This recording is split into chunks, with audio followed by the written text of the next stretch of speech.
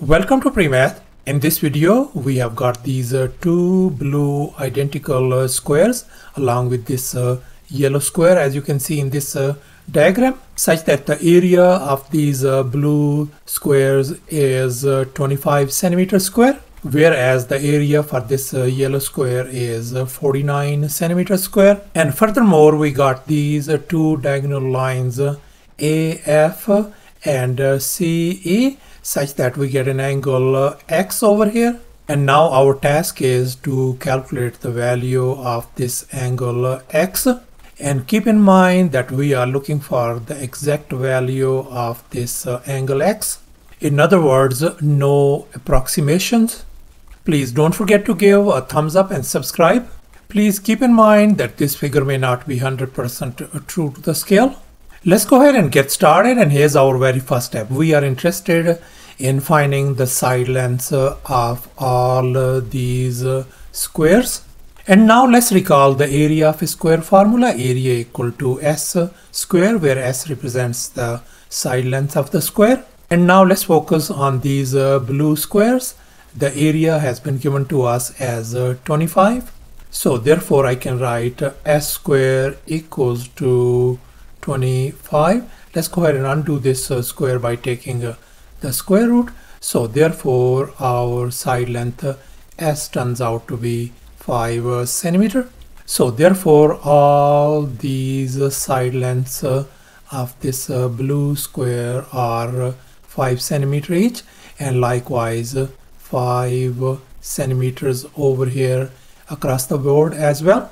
And now let's focus on this yellow square whose area is 49 so therefore I can write s square equals to 49 let's go ahead and undo this uh, square by taking the square root on both sides so our side length uh, s uh, turns out to be positive 7 so therefore all these uh, side lengths for this uh, yellow square turns out to be 7 centimeter each now we are going to think uh, outside the box and we have uh, drawn this uh, horizontal uh, blue line that is uh, parallel to another line AE such that uh, this blue line divides this angle into two parts this one and this one.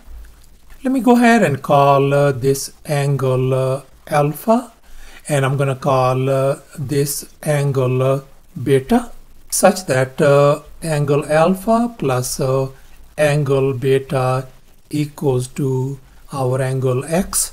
And now our task is to find the value of this angle uh, alpha plus beta. And now we can see since these are two lines are parallel lines and this uh, red line is our transversal. So therefore this angle alpha has got to be equal to this uh, angle alpha since they are alternate angles. And likewise uh, this angle uh, beta is going to be equal to this angle uh, beta as well since this is uh, our transversal and these are uh, alternate angles as well.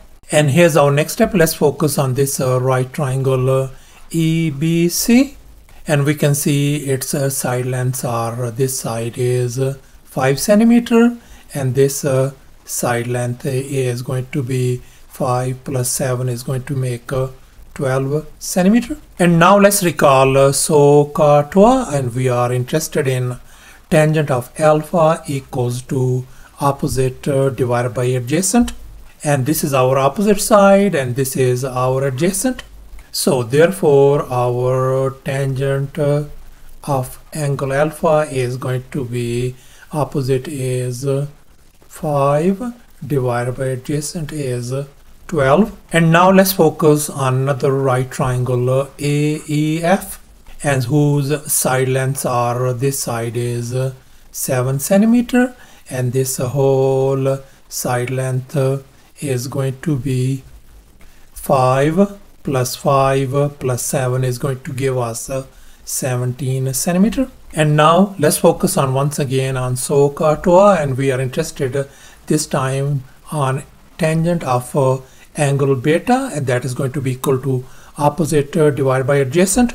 And our opposite uh, side is uh, 7 centimeter and our adjacent side is uh, 17 so therefore our tangent of angle beta turns out to be 7 divided by 17 so thus our tangent of alpha turns out to be 5 divided by 12 and tangent of beta turns out to be 7 divided by 17 and since we are interested in finding the exact value of uh, alpha plus uh, beta so therefore we are going to use this uh, tangent of uh, sum of angles uh, alpha plus beta and that is going to be equal to tangent of alpha plus uh, tangent of beta all over 1 minus tangent of alpha times the tangent of beta. And we already know our tangent of alpha is 5 divided by 12 so I'm going to replace these uh, tangent of alpha over here. Likewise tangent of beta is 7 divided by 17 I'm going to replace uh,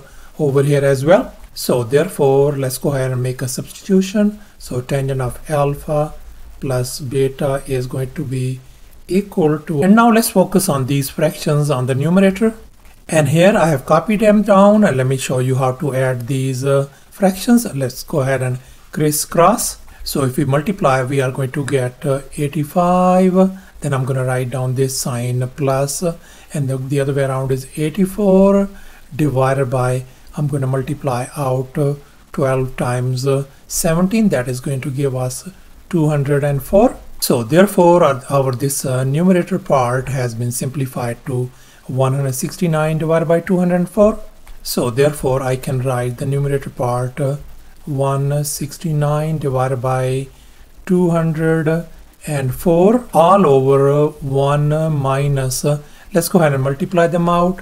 That is going to give us uh, 35 divided by 204 and now let's focus on this denominator part. And here I have copied it down and when we simplify this thing uh, that is going to give us uh, 169 divided by 204 so therefore I'm going to replace this uh, denominator part by this one. So therefore on the numerator we got uh, 169 divided by 204 and all over this thing I'm going to replace it by this uh, 100 and 69 divided by 204 as well. And now we can see this numerator and denominator they cancel each other out. So that is going to be equal to 1 so therefore our angle tangent of uh, alpha plus uh, beta turns out to be equal to 1 and that is could be written as uh, alpha plus beta equals to tangent inverse of 1 and we know tangent inverse of 1 is simply 45 degrees. So therefore we conclude that our angle alpha plus beta turns out to be 45 degrees. But we know that our angle alpha plus beta equals to angle x. So therefore our angle x turns out to be 45 degrees. So thus our angle x turns out to be 45 degrees. Thanks for watching and please don't forget to subscribe to my channel for more exciting videos. Bye.